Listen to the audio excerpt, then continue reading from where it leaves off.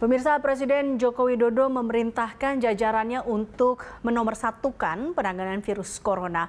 Presiden juga mewanti-wanti soal klaster penularan virus corona. Pernyataan tersebut disampaikan Presiden saat sidang Kabinet Paripurna untuk penanganan kesehatan dan pemulihan ekonomi tahun 2021. Presiden mengatakan penanganan corona yang baik akan berbanding lurus dengan membaiknya kondisi perekonomian. Presiden Joko Widodo juga mengimbau untuk hati-hati penularan COVID-19 di lingkungan keluarga.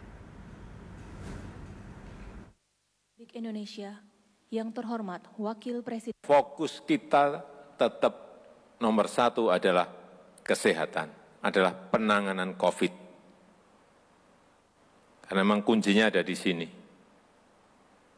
Jajaran komite penanganan COVID dan pemulihan ekonomi, Menteri Kesehatan, dan juga TNI Polri, betul-betul agar yang berkaitan dengan urusan penanganan COVID itu betul-betul menjadi fokus kita. Ekonomi akan mengikuti.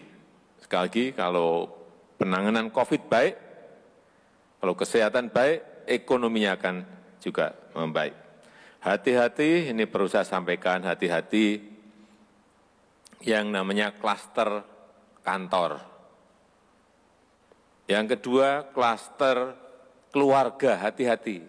Yang terakhir juga klaster pilkada, hati-hati ini agar ini selalu diingatkan.